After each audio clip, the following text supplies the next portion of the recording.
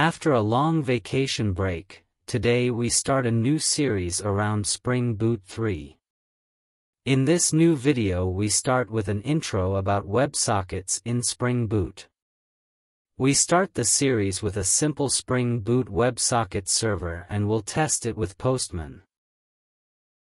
We start as usual in Eclipse with a new Spring Boot project. With the following dependencies.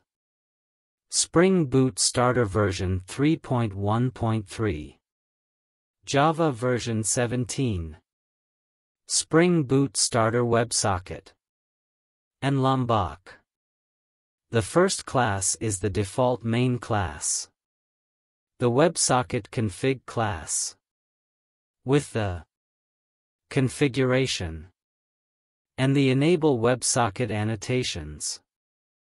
Here we implements the WebSocket configurer interface and override register WebSocket handlers where we configure the WebSocket endpoint and the WebSocket handler bean.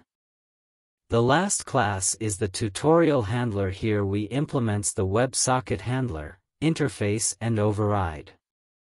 After connection established. Handle message. Handle transport error.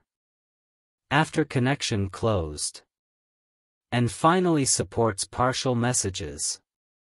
There is one method here that is important handle message. Here we receive a message from the tutorial endpoint, modify it and send it back twice with a pause of one second. We can now start the project and test it with Postman. After starting the project in Eclipse, we can test it in Postman.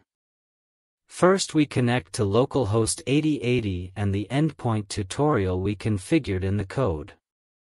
We now click Connect and see the response from the WebSocket server. Now we can send a message and see what the response is. We get the two expected responses with a pause between them of one second. This was it for part 1. Tomorrow we will continue with the second part of Spring Boot WebSockets. We will then continue with Sock.js and STOMP.